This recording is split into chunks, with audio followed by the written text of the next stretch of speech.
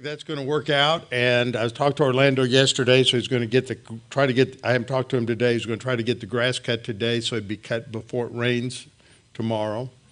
And then, uh, uh, I, it, it's going to be fast-moving front tomorrow, so I don't think it's going to rain enough to, uh, we got two days to dry out, so I think that's going to be, that's going to work. So we'll all be prepared for a great time. The weather's going to be, and the weather and temperature is going to be just perfect. So looking forward to that. And then the other announcement that I have is that for the last several years, I don't know how long it's been, but we have uh, had the privilege of having Pastor Young with, uh, here with us. And he has been called to a Korean church in the uh, Maryland area just outside of Washington, D.C. So today will probably be his last night with us. So uh, make sure you uh, congratulate him and say hello to him because uh, he'll be leaving to move there next Monday. So that's uh, quite exciting. I know that he's quite uh, uh, enthusiastic about it. So be in prayer for him as he makes this transition to, to the church there. I think that's all we have for announcements. And um, I did get a little bit of rest while I was gone and managed to uh, uh, get away from the schedule and the stress for just two or three days. But uh, it always takes me a while. I've been that way since my first year as a pastor. It takes like four days before I'm, I'm I de-stress, and then it's almost time to come home. So anyway, so. Um, Trust in the Lord with all your heart and lean not on your own understanding. In all your ways acknowledge him, and he will direct your paths. They that wait upon the Lord shall renew their strength.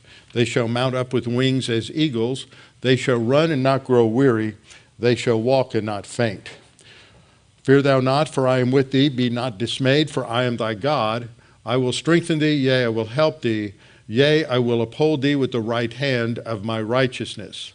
Be anxious for nothing, but in everything by prayer and supplication with thanksgiving, let your requests be made known unto God, and the peace of God, which surpasses all comprehension, shall defend your hearts and minds in Christ Jesus.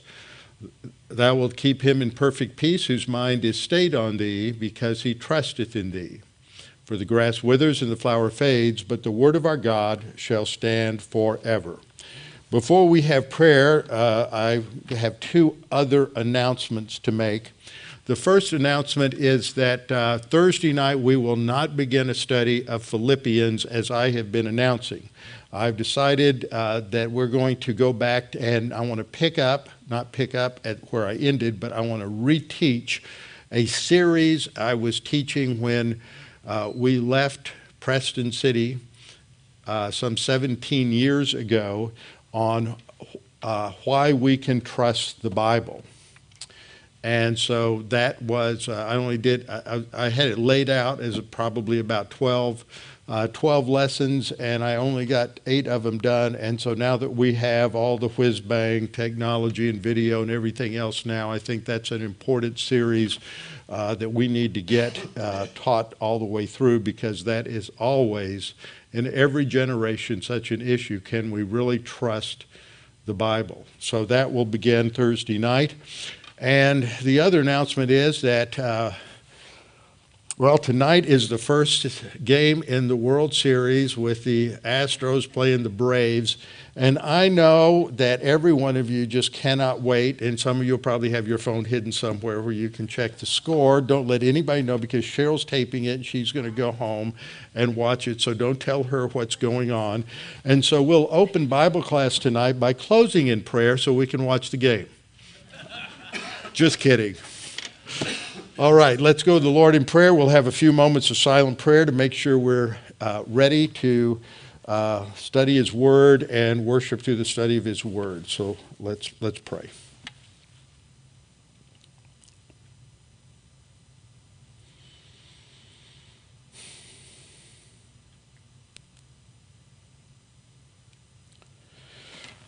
Our Father, it is our privilege to come together to study your word, to worship you through the study of your word, to come to understand how you think, come to understand how uh, how you have created us and what our purpose in life is, and how we as human beings, as believers, can have stability and certainty in our lives. That despite all of the chaos that surrounds us and all of the uncertainty, that we can just relax and we can uh, rest in you because we know that you have all things uh, in your hands and that all things will work together for good. And we can uh, claim that promise and trust you. Father, we do pray for a number of people that we know that are struggling with COVID. They are some are in recovery. Others are still uh, trying to get to recovery. We pray especially for Tom Stegall up at Duluth Bible Church. And he has had such a great opportunity ministry through writing and study. We pray for his recovery and his strength. And Father, we also remember that there's a number of people that we know, some we don't know, but I know they're out there that are in job situations, and some in the military. Some are people we know in this church, some we know only through news reports. That jobs and careers are threatened, even their retirement is threatened if they're in the military, if they do not uh, take the vaccine. And so we pray for them, and we pray that you would give them wisdom to deal with the situation that they face and that for those who are dealing with legal issues, we pray that the Constitution of this nation would be honored and that uh, we would not have citizens forced to do things like that against their will. And Father, we pray that as we focus on your word, that you would remind us that in every generation, they have to earn their freedom. Every generation has to decide whether or not they're going to trust you and Father, we know that uh, so far it doesn't appear that the generation coming up has made the right decision.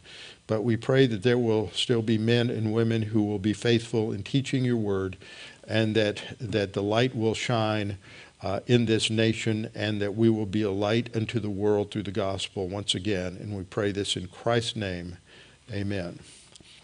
All right, let's open our Bibles to uh, Judges We'll be in Judges chapter 4 again. I'll cover some review, and I think you've had a good dose of, of uh, up to this point through what I covered a couple of weeks ago. And see what happened when, when I, before I taught that, I called Doug on the phone that afternoon, or a couple of, uh, about a week before, and I asked him if, um, if he would consider doing something on Hatzor and he said, No, I haven't looked at that material in a long time, so I've got something else in mind. And so I thought, well, since he's not going to do it, I'll, I'll do it. And then he changed his mind, and we didn't communicate about that. So you got a double dose, but that's good because I'm sure he gave a lot of information that I didn't um, that I didn't cover, and it was good for you to get get that review. Now I want you to notice on the title slide that underneath the title for the book study, under Judges, I have changed the uh, sort of title or slogan for the series. And before it had to do with uh, a nation in, you know, collapsing. And I was reading several things while I was gone, and I read something, and I can't even remember what I read or where I read it, but this phrase flashed into my mind when chaos was king. Because, of course, the two verses that repeat one another later on in Judges that express the theme of Judges is that there was no king in the land and everyone did what was right in their own eyes. And that statement, there was no king in the land, is a reference to the fact that they had rejected God. God is that was their king under the theocracy established in the Mosaic covenant, and they had rejected God, so God was not their king. And because God was not their king, they had rejected the value system of the Mosaic law and they were adopting the value system of the pagan culture around him. And that led to them uh, collapsing as a nation. And that's what happens when chaos is king. And that's exactly uh, where we are uh, today. So I thought that was uh, descriptive. And as we looked at the outline, we've seen that it describes the process of paganization. It goes through the leadership in this central part of the book from chapter 3, verse 7 to chapter 16, verse 31, going through these different judges. Some of which are clearly stated to have been raised up by God, others were simply raised up by God, and the description of God raising them up, which is what we have in the case of Deborah, is what we what we see in the text. It doesn't state it overtly, but it describes it implicitly. So we are now on that fourth judge. Shamgar, I have there. He's never called a judge, but he does um, provide a deliverance for Israel uh, when he is um, takes out the 600 Philistines. And it is said at the end of that verse, he also delivered Israel, which is the primary function, it seems, of a judge. And I'm making a point out of that because this word judges, which is in the Hebrew shophatim, is a word that is translated judge, but probably has a closer meaning to what we would refer to as a governor, uh, a leader, uh, uh, someone who is a military commander, sort of a mix of those things. But when we think of a judge, we think of someone who has responsibility in what we think of as the judicial system, not the executive branch, but the judicial branch, and that they are to make decisions where there are conflicts related to either criminality or uh, some sort of civil disruption. And, but that's not really the role that we have of a judge depicted in the book of Judges or the way that the word is used at all. There is a scene here in when Deborah is introduced that has often been taken that way, and I've probably taken that that way in the past because of the way it's described. But from what we have studied, we have seen that that's really not what's going on in that passage. So I'm going to be doing some review today because it's been um, two weeks since we last covered this, and I would suspect that you, like me, have uh, thought about a lot of other things, and we've probably forgotten a lot of what we said. And I want to add a lot to things I said, things I didn't say uh, the last time. So we've seen this cycle of the judges that goes from the disobedience of the people, the uh, sons of Israel. The phrase children of Israel is really not a good translation. It's always the sons of Israel, and it always refers to the national collective whole. And they disobey God, and God brings uh, divine discipline on the nation based on the Mosaic law. And then uh, they will cry out, they will scream in agony from their oppression, and God, in His grace, delivers them and then they go through the cycle again. And what's really important, as I'll show in just a minute, is it's that deliverance that's the focal point in the text. That even though God is going to put them under a harsh oppression, the whole point is God delivers them whether they deserve it or not. And in most of these cases, they, they really haven't. So we just go through this whole process of uh, the judges going through one cycle after another all the way down to Samson, each cycle being worse than the time before. So here's our uh, basic uh, map of Israel, and we're looking at this judgeship. That was not supposed to happen. Uh, this judgeship, so we have Hatzor. I thought I had fixed that on every one of these maps, but I guess, well, there we go. Okay. Um, we have Hatzor up here. We have the valley of Megiddo, the Esdraelon Valley. This is where in the future there will be the staging area for the campaign of Armageddon. Uh, this is the crossroads here.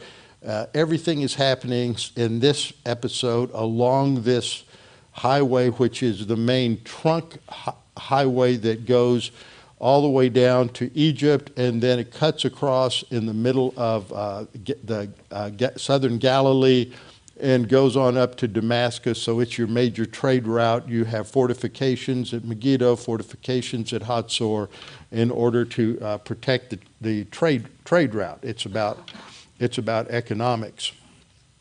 So that orients us to where we're going. This area down here, uh, that is north of Jerusalem, is the area where uh, Deborah is going to be sitting by this palm tree. We'll get into that a little later.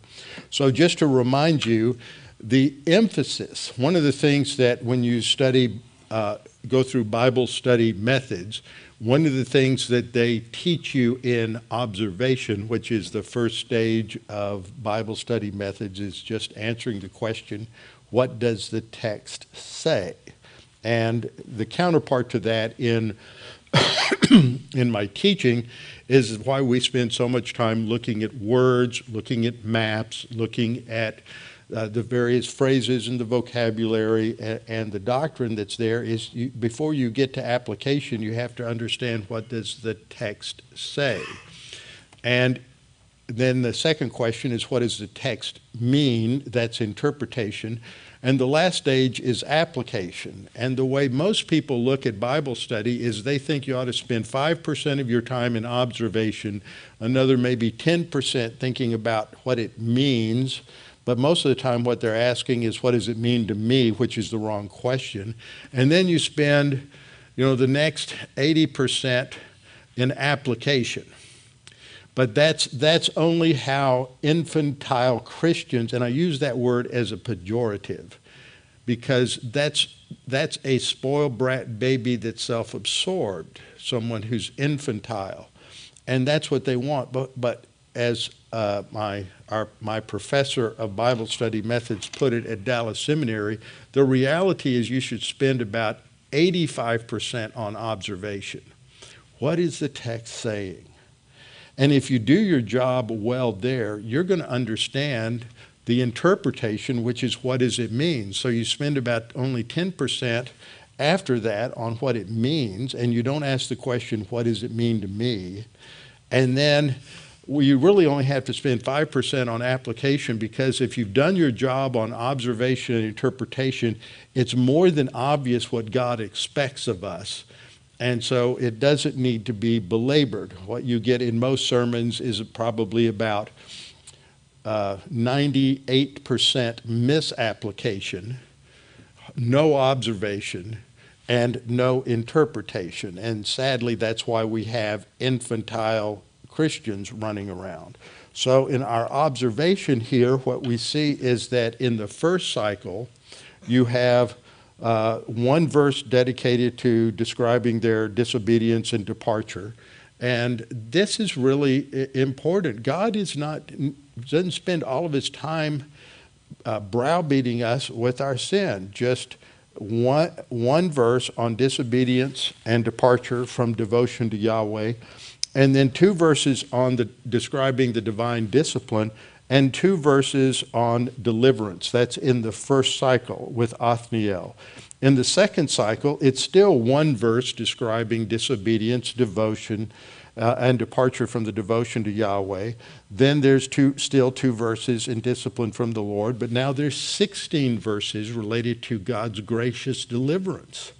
And then when you get to the third cycle, disobedience and departure from devotion to Yahweh still one verse. Notice God's not spending more time belaboring their rebelliousness toward Him and their sinfulness. It's still one verse and two verses describing the divine discipline, but now 21 verses that describe God's deliverance. And we'll see this kind of pattern through the rest of, of this book. So that tells us something that the emphasis for us is on the gracious deliverance of God, whether we deserve it or not. It's not on God browbeating us and reminding us and rubbing our nose in our sin. Um, it is about the fact that God will graciously uh, deliver us. And so we looked at the beginning, which simply reminds us of the conclusion with, with Ehud. This is the background that after Ehud died, the sons of Israel again did evil in the sight of the Lord.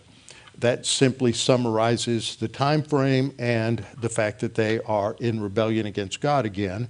And then verse 2 describes the uh, divine discipline. So the Lord sold them into the hand of Yavin, king of Canaan.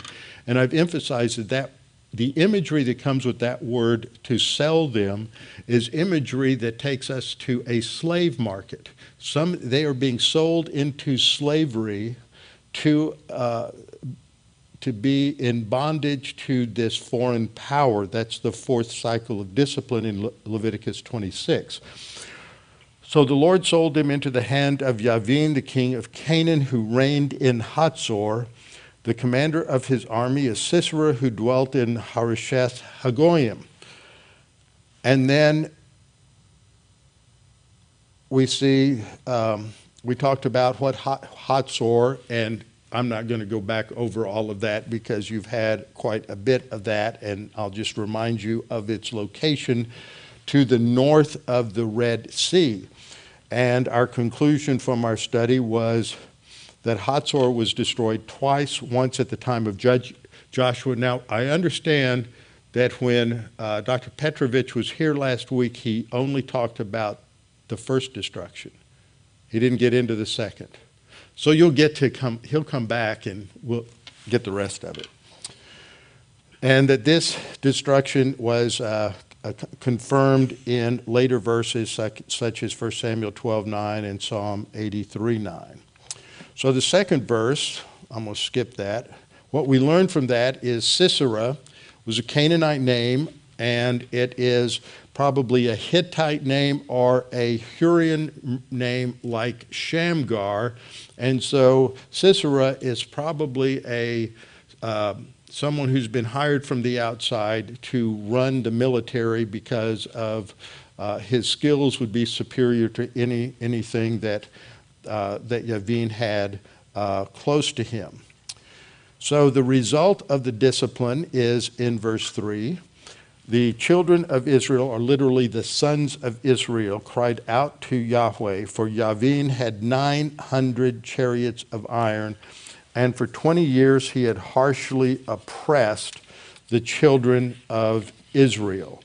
So, what we see in, in this particular verse is an emphasis on the fact that uh, the suppression, the oppression rather, of the, uh, of the Israelites is due to a military superiority. That uh, when a nation has not developed itself, to the point where it can defend itself, then it is, um, it is prone to be oppressed and attacked by stronger forces or taken advantage of uh, by other, other forces. And the result of that is, is this 20 years of oppression. We'll see this is a pattern for Israel through this time. We're reminded that in 1 Samuel, the Philistines had iron, so they had entered into the Iron Age, but the Israelites were kept from having blacksmiths to work iron, so this was a form of arms control. And so arms control has always been about uh, preventing people from exercising any kind of freedom and that is something that is evident in uh, that was evident to our founding fathers and they recognized this when they shaped the second amendment and that the second amendment is not talking about uh, people having uh, firearms and weapons uh, in relation to sports or sporting activities or shooting activities, but in relation to self defense. That's at the very core of the Second Amendment, and it recognizes that this is an unalienable right. That's what those, the Ten Commandments really focus on the Bill of Rights. And these unalienable rights cannot be regulated by government in any way, shape, or form. Once we allow the government to regulate them, to license them, to certify them in any way, shape, or form, then it opens the door for all of them to be regulated, certified, or uh, controlled by the government in one way or another. That they are unalienable rights recognizes the fact that they are in inherent rights for every human being who is in the image and likeness of God, and therefore the government is to protect those rights and does not have the authority to come in and regulate those rights.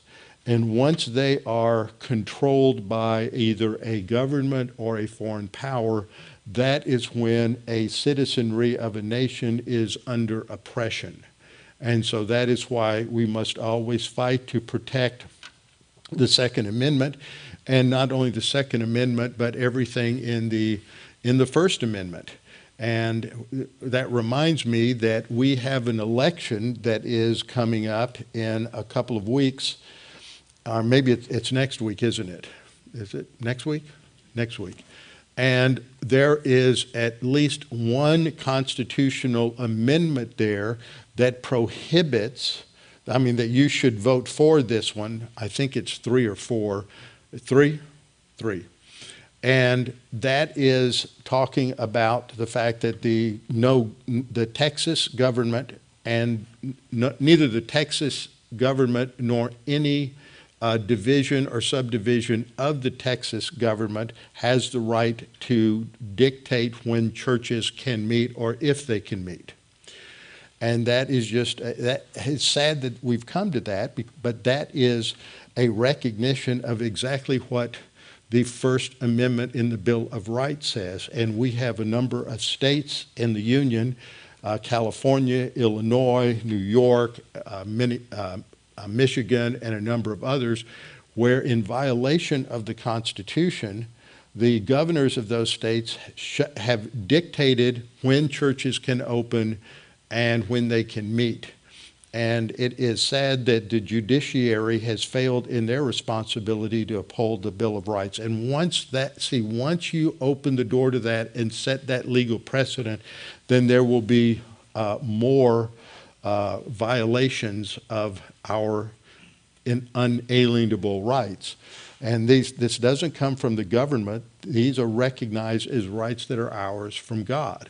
So this is, this is a problem. And uh, we see that as an application from what is revealed here is that the Canaanites now have, um, have got weapons and equipment that is far superior to what the Israelites have, and that is and that results in their oppression for these 20 years.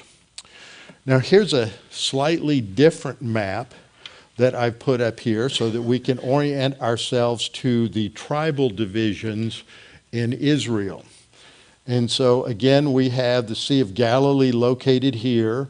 And uh, just north of that is Hatzor, where we have where I've put the red circle. And this is the uh, tribal allotment for Naphtali. And we'll discover that Barak, who is the general who will uh, lead the uh, Israelite forces, is uh, from Naphtali. We also see here the in the yellow the tribal division for Zebulon, which comes down to the ridge line, this, this ridge line that really follows this line between the brown and the green and the brown and the yellow and the brown and the red, is really the ridge line of the uh, Carmel Ridge. Mount Carmel is where uh, uh, Elijah uh, did uh, spiritual battle with the uh, with the priests of Baal and the Asherah, and that's loaded, located somewhere right around where I'm showing on the pointer there. So these these tribal groups up here in the north, Asher, Zebulun, Issachar, and Naphtali, are the ones that are mostly involved here, uh, but probably also involve those who are down in uh, the central hill country, country of, of Samaria. Across the Jordan, always from the perspective of Israel, is Transjordan, and you have the two, uh, two tribes, uh, Manasseh and uh, Gad, on that east side of the Jordan River. But most of what we're going to be talking about here is all in this in this upper territory. Now, the other thing that you see here with this line that is just to the just to the northeast there, runs from northwest to south southeast. That's the path of the Kishon River. And so this brook, which in its uh, in the dry season is almost nothing, if, if there are heavy rains, it can develop into an, an, an extraordinary flash flood which is not described in the fourth chapter, but it's hinted at and I'll show you in the verse when we get there. But this is the flash flood that's going to be described that in the fifth chapter in the poem of the victory song of Deborah that God uses to destroy the chariot corps of, of Sisera. So that that's important. Uh, geography is always very important in in uh, military battles. So this gives us that basic orientation here.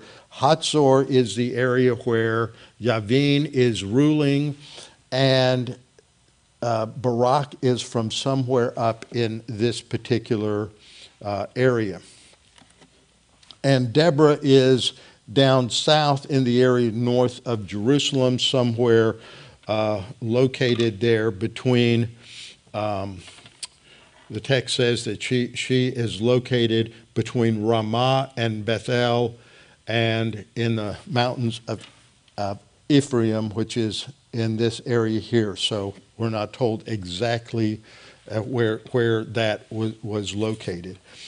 And so we have the situation where the Israelites cry out to the Lord in verse 3 and this, although the, the writer of, of Judges only mentions them turning to the Lord once, and this is not one of those times, when you get into 1 Samuel 12, verses 10 and 11, we're told then that there's, there's a rehearsal of what has happened in the past, and there was a reminder and uh, Samuel says, Then they cried out to the Lord and said, We have sinned because we have forsaken the Lord and served the Baals and the Asherah. But now deliver us from the hand of our enemies, and we will serve you. So this is giving content to their cry. And in verse 11, we see, And the Lord sent Jerubbaal and in the text, if you read that verse in English, it says Bedan, B E D A N.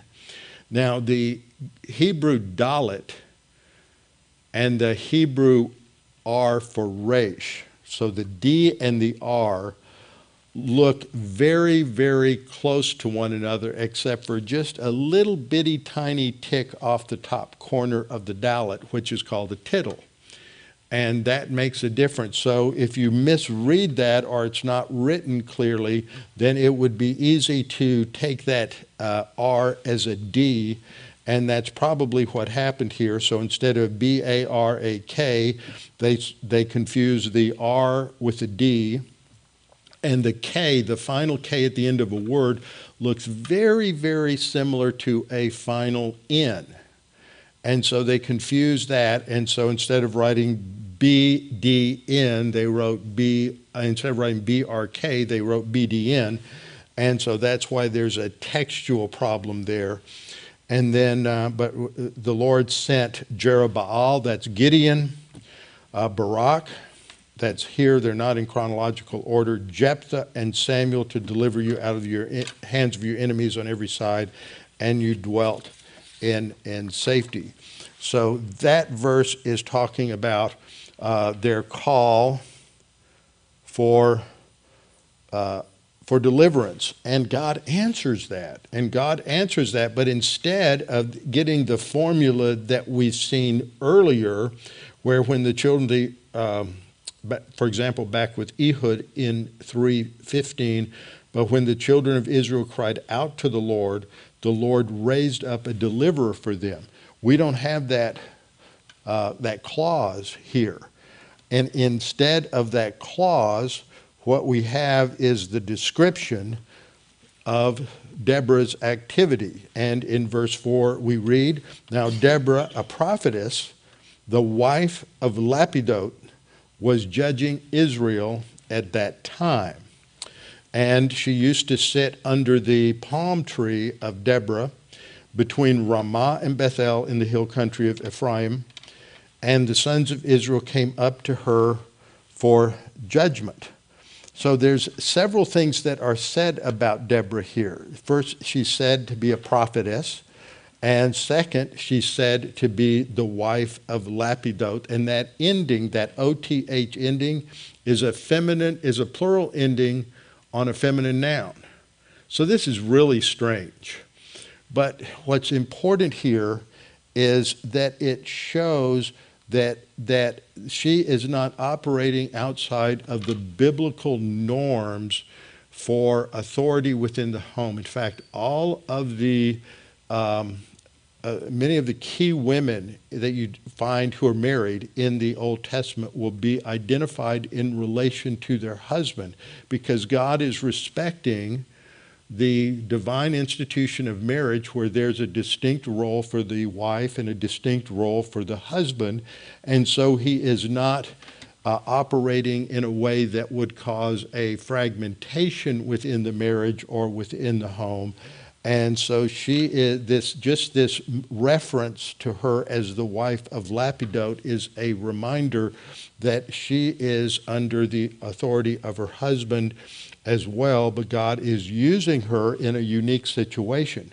Now we'll come back at the end of this because we need to talk about these issues related to the role of men and women because this is always taken out of context by uh, evangelical feminists to so see God has women pastors because there's a lot of people in the Christian community that think that what pastors are are pro- they're prophetic and they have this role of like a prophet in the Old Testament.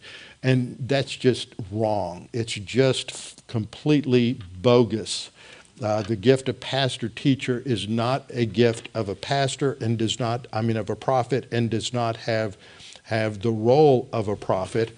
But what we see in the scriptures is that throughout the scriptures there are there's a defined role within marriage of for the man, the husband, and the wife. It never changes. It's the same before the Mosaic Law, it's the same after the Mosaic Law, it's all the way through the Old Testament, it's in the New Testament, and it is affirmed a numerous times by both Peter and Paul uh, in the New Testament, where there's a great warning that we are not to put women into positions of authority over men and that this is abnormal. It's not a, uh, according to God's normative plan for a woman to exercise authority over a man. And so the fact that God has uh, put Deborah in this position of leadership uh, indicates uh, a couple of things that we have to go back and talk about a little bit. One of them is uh, the stage is set when we went to Shamgar because we saw that Shamgar was not an Israelite and he was not a believer. His name indicated that he was a Hittite or a Hurrian, and it doesn't say God raised him up. Uh, you don't have the typical uh, uh, formula for Shamgar. He's not called a judge. It is, as I pointed out when we studied him, God uses him because there's nobody in Israel that God can use. So he has to use somebody that is not an Israelite. And what that's in this text to reveal is that there's a problem with men being men and taking leadership roles in Israel as a result of the paganization of the nation. And throughout the Old Testament, we often see illustrations of this as as Israel goes into apostasy, then there are problems with women, uh, women such as Jezebel, women such as Athaliah, a number of others that come along uh, that create problems. But in this situation, because there's a failure of men uh, to be uh, to be leaders, and then we come to the next leader, and he's no. Um, uh, aggressive warrior at all. That's Gideon, and we see him, uh, and the angel of the Lord appears to him and sarcastically calls him a valiant warrior, and he's hiding out in a wine press in order to uh, thresh the, the wheat. And so he's, he's not a great, uh, a great one to be a leader. And so, what uh, God always has um, honored women, they're all through the scripture. Uh, but they are not to take the place and the role of men um, but this is a sign that the males have failed in their leadership here in a couple of different ways, as I'll point out. And, and this is a, a, a real tragedy. We see it. There's two books that I have read over the years. One is The Feminization of America, which was fascinating, and the other was The Feminization of the Church. And the Christian church, throughout the history of the church, has always had a huge problem with men, uh, the failure of males to be spiritually focused and to be leaders in the home and leaders in the church. And in the early church, you had the development of the whole idea of nuns. Uh, and uh, other things developed, and just about every cult that's developed has had a problem with with uh, male leadership they've had.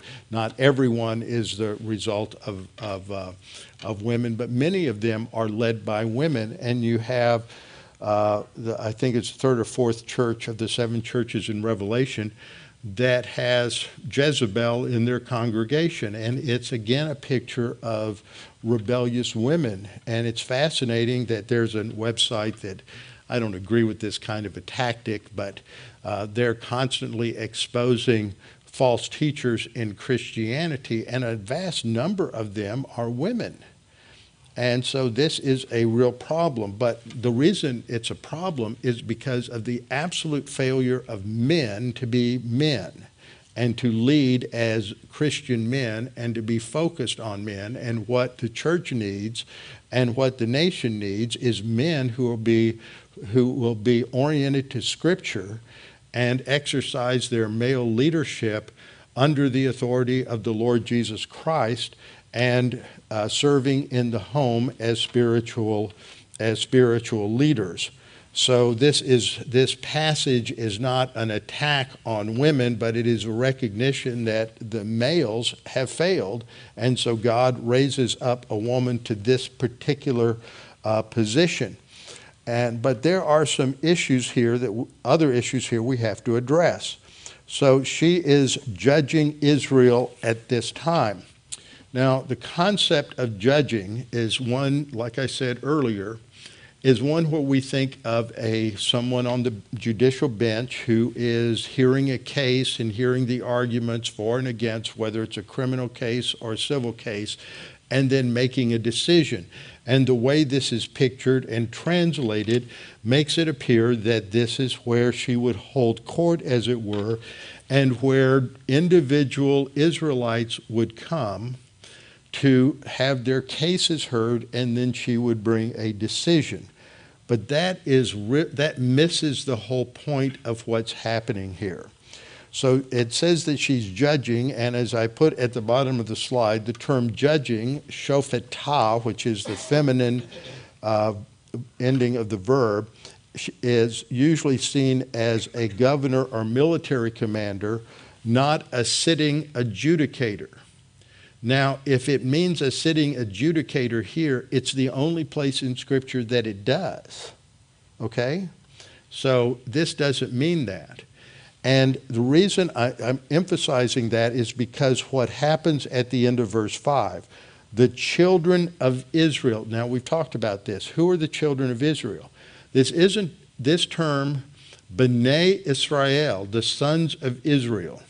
Every time it is used, it is talking about the congregation or the assembly of Israel coming together for a purpose. It is not talking about individual Israelites taking action. It is talking about the corporate nation. And so when it says the children of Israel came up, and this is also an important word because it is recognizing that they are uh, formally coming to her. You would come up to Jerusalem to worship. The idea of coming up is, is an important word. And they're coming to her for her to render a judgment. Now, contextually, what's the case? The case is that they're being oppressed by the Canaanites. That's the issue. So we have to understand that this is a particular situation where she is the one they're coming to and she because she is called a prophetess. And so this is the primary term that we have to focus on is that she is fundamentally a prophetess. And so we have to talk about the role of a prophet a little bit. Now, in a few weeks on Sunday morning, when we get to Ephesians 4 11 and 12, and we talk about the spiritual gifts of apostle and prophet and evangelist and pastor teacher, that's talking about a New Testament gift of prophet, and, and this is important background for understanding that. So, a primary way in which most of us have understood a prophet is that somebody who is either A, pronouncing judgment on Israel, or B, as part of that judgment, talking about future events. And when most people th- think about a prophecy, they think about somebody uh, who's got divine inspiration and is foretelling the future. But we really have to disabuse ourselves of that. And I pointed this out a couple of weeks ago, but I've added more to this. Now, in Exodus 4 15 and 16, in conjunction with Exodus 7 1 and 2, we get a God's definition or partial definition of a prophet he says to Moses, Moses is resistant. He doesn't want to go speak to Pharaoh. He wants to make up excuses and say, Well, I'm not a good public speaker and I stammer and I can't really do this. And so God is speaking and he says, Now you shall speak to him and put the words in his mouth. He's talking about Aaron, uh, Moses' brother. You shall speak to him and put the words in his mouth, and I will be with your mouth and with his mouth and I will teach you what to do. So he, that is Aaron, shall be your spokesman to the people, and he himself shall be as a mouth for you, and you shall be for, to him as God. So God's creating this analogy. Just as God puts the words in the mouth of a prophet, then the prophet is the one who speaks the words that God gave him to the people. He's not making up his own message, he's not explaining it. He's just announcing what God tells him to announce. And this is further seen in when we compare it with Exodus 7 1 and 2. So the Lord said to Moses, See, I have made you as God to Pharaoh, and Aaron your brother shall be your prophet.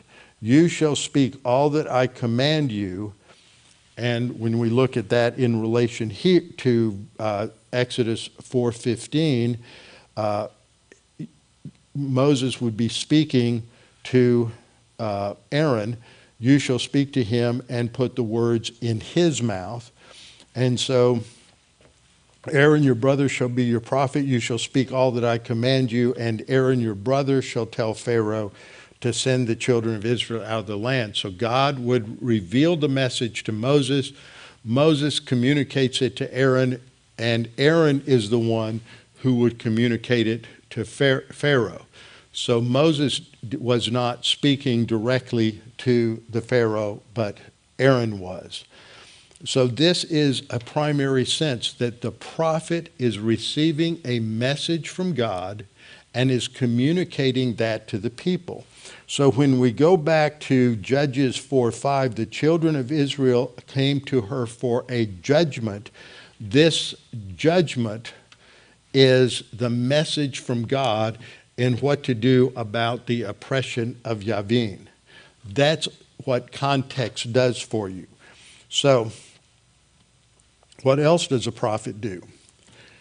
In Exodus 15, 20, and 21, uh, we have uh, Moses in Exodus 15 is written a psalm of, of thanks and deliverance to praise God for rescuing the people and escaping Egypt and crossing the Red Sea. And so they sing the song of Moses, but there is an echo, a chorus that the women sing. So it's obviously what is called antiphonal singing. The men are singing the main part, and the women uh, echo with this with this chorus. And so Miriam is leading the women, and she is identified as Miriam the prophetess. the sister of Aaron, took the timbrel in her hand, and all the women went out with her with timbrels and with dances. So this indicates that her role as a prophetess is in relation to music and singing. So Miriam answered them, that is, answered the men in the antiphonal singing Sing to the Lord, for he has triumphed gloriously. The horse and its rider he has thrown into the sea. That was the chorus. We see this, I pointed this out uh, a couple of weeks ago in 1 Chronicles 25 1, that David appointed a, the choirs and it is stated that those who were the sons of Asaph, of Heman, and of Jeduthun, these were three of the different uh, uh, choir groups uh, who should prophesy with harps, stringed instruments, and cymbals. So it's vocal and it's instrumental. And the number of the skilled men performing their service was. So it, they're skilled at music, and that is called prophesying. Now, that really brackets the num- uh, uh, a number of times that this idea is used in 1 Samuel. And it's confusing for people because if you take this definition that a prophet is someone who's preaching or is uh, foretelling the future and you fit that into these verses, you're just going to come away really confused. This is what I've added. So, this is talking about um, Samuel, when Samuel was first, uh, uh first anointed, and a little later in 1 Samuel 10:5, and that you shall come to the hill of God where the Philistine garrison is, and it will happen when you have come there to the city that you will meet a group of prophets coming down from the high place with a stringed instrument, a tambourine, a flute, and a harp before them, and they will be prophesying. See, it's very clear this is used in a musical context the next verse says, Then the Spirit of the Lord will come upon you, and you will prophesy with them and be turned into another man. This is Samuel is speaking to Saul about what is going to happen after he has been anointed. This is a sign of God's approval uh, and recognition of Saul as the king. And we go on in verse 10. When they came to the hill, there was a group of prophets to meet him. Then the Spirit of God came upon him, and he prophesied among them. That's the fulfillment of Samuel's prophecy. Verse 11 And it happened when all who knew him formerly saw that he indeed prophesied among the prophets, that the people said, Is Saul also among the prophets? Verse 12 uh, Is Saul among the prophets? Verse 13 When he had finished prophesying. So all of this shows it has this musical context. In 1 Samuel 18:10, it happened on the next day that the distressing spirit from God came upon Saul. So this is a, a demon that is oppressing Saul. He's not demon possessed, it comes upon Saul. He's external. Demon possession is internal control by a demon. This is demonic oppression or influence. And Saul. Uh, the, the spirit from God comes from upon Saul, and he prophesied inside the house. So he's singing. This is really bizarre. Don't ask me to explain what's exactly going on here because I don't know. Uh, but it has to do with prophesying is related to music. So David played music with his hand, and uh, Saul is calmed. But I think this is the case where Saul picked up, picked up his spear and threw it at David. So 1 Samuel 19 20. Then Saul sent messengers to take David, and when they saw the group of prophets prophesying and Samuel standing as the leader over them, the Spirit of God came upon the messengers of Saul, and they also prophesied. Now, it doesn't mention music here, but it fits with what we saw in 1 Samuel 10. In 1 Samuel 19 23, so he went to Naioth in Ramah then the Spirit of God was upon him also, and he went on and prophesied until he came to Naioth in Ramah. It, the idea of them preaching just doesn't fit the context. The idea of music and singing uh, praise to God does fit the context. And verse 24 is just so bizarre because he also stripped off his clothes and prophesied before Samuel in like manner and laid down naked all that night. And um, therefore it was said, Is Saul among the prophets? So this is just some odd stuff going on here, and I, I can't explain it. Again, in First Chronicles 25 2, um, the sons of Asaph, that's the, the musicians, were under the direction of Asaph, who prophesied according to the order of the king. So when we come to Judges 5 1, Deborah and Barak, the son of Abinoam, sang on that day. So who is she primarily? She's a prophetess. Now, that with her, as I pointed out the last time, that involves some other activities, but it clearly involves uh, music because God, uh, through the inspiration of the Holy Spirit, uh, has her write uh, chapter 5, this victory song. And it um, refers to her as well as Deborah arose, a mother in Israel, focusing on her and, and highlighting her role as a mother in Israel. So we go back to uh, prophetess, the wife of Lapidot. And th- this word I mentioned earlier, it's a feminine noun and it is has a plural ending. And if there's um, any significance to it, the word has this idea of torching, torches and flashes. It's just highlighting the fact that Deborah is functioning as a brilliant light in the dark days of Israel, just as you and I are to be uh, sons of light in the, in the midst of the darkness of our generation, a wicked and perverted uh, generation. And then in verse 5 we read, and she would sit under the palm tree of Deborah. That's what it became known as. That's the palm tree of Deborah. So this was, as it were, her uh, platform when she would uh, be called upon by the Lord to serve in uh, this capacity. It's located be- between Ramah. Now, later Samuel will come from Ramah, that's his hometown.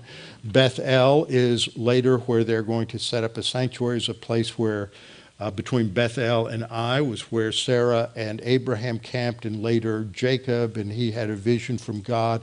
So it is in the center of the uh, mountains of Ephraim and about maybe 10 to 12 miles north of Jerusalem. And so it is uh, in the format of this, this story, the people are crying out to God, and Deborah is introduced as the one who will give God's judgment, God's direction, in the manner of this oppression of Jabin. Now, she's sit, sitting under the palm tree or sitting under the oak tree were common locations where prophets uh, would exercise their ministry. So notice she's not exercising a ministry of leadership over men. She's not exercising a ministry of military leadership. And even when she goes with Barak, she will not be uh, in the role of military leader. She will be there as a representative of God, which encourages the people. And then once this battle takes place, we don't hear about her, her activities again.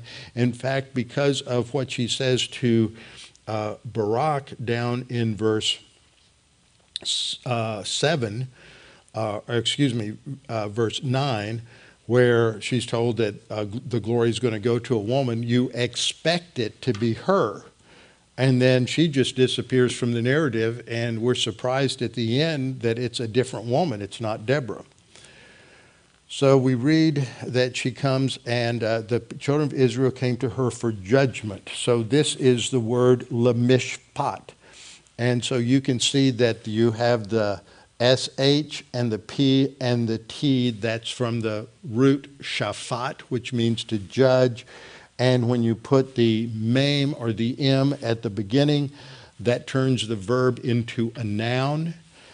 And then you stick a, a, a lamed, the, the L in front of that, and that is a lamed of purpose. So that's a preposition. So she came to her for uh, a judgment, and the judgment is what do we do? Now, as we look at, uh, talk about her location between Ramah and Bethel in the hills of Ephraim, uh, she, it's interesting that she's not really, she's not at Bethel or at Shiloh, which is just a few, a few more miles north, which is where the ark is located. Uh, but she is just out in the countryside in the center of Israel where she is accessible to everyone. So we see uh, just an aerial view here, and we're looking uh, from, the, uh, from the south, and we're looking towards, towards the north, and we have uh, Gibeon, it's located here, and Mizpah is located here where Israel had gathered for a reaffirmation of the covenant. And here's Bethel, one of these two locations. So she's generally in this area of the hill country and uh, sitting under a, under a palm. So the Israelites are coming to her for judgment, and they can't go to the priests because the priests are all corrupt. Not we can't say if it's right at this time, but generally in this period, we see the corruption of the priesthood with corpulent, fat Eli, the high priest, and his sons, and their described their behaviors described in 1 Samuel 2 12 to 13, that the sons of Eli, uh, the sons of the high priest, are corrupt. They did not know the Lord and the priest's custom with the people was that when any man offered a sacrifice, the priest's servant would come with a three pronged flesh hook in his hand while the meat was bo- boiling and take it out for themselves. And that was to be, uh, to be for God. So, what happens next is in answer to their question for, and they're searching for God's judgment, she acts rather than tells them, and she sends and calls for Barak he, his name means lightning, and so her name meant bee, and so the bee calls for the lightning. Barak, the son of Abinoam, from Kadesh in Naphtali. And she says to him, Has not the Lord God of Israel commanded? Now that's phrased in a way that indicates the answer is yes. This is a way that a prophet would speak in order to emphasize the command of God and the command is to go and deploy your troops at Mount Tabor. Take with you 10,000 men of the sons of, of uh, Naphtali and of the sons of Zebulun. So they are to go to Mount Tabor, and it's easy to spot when you're there in Israel because it's this funny looking bump on the horizon. And this is located uh, right about here just below, let's say just below the E or the B in Zebulun. And Barak is coming down from the north, from Naphtali, down, and this is where his uh, troops are going to gather uh, for the battle. And so we will stop there so that we can get caught up with where the Astros are tonight. But don't forget this, and we will pick up here next week and go forward and describe the battle and what happens. Father, we thank you for this opportunity to study these things, to understand that you are working in all of these things. It is an expression of your grace. And as we go forward in this chapter, we will see your gracious, miraculous deliverance of Israel, even though they are outnumbered and outmaneuvered, and they do not have the weaponry. None of that will matter because you will wipe out the Canaanite chariot corps through a miraculous flash flood. And Father, we pray that we would come to understand this as an illustration for how we use the faith rest drill, that you will rescue and deliver us, but not by the way that we normally think uh, should happen not according to our plan, but according to your plan. And you will always make our path straight if we are trusting in you. And we pray this in Christ's name. Amen.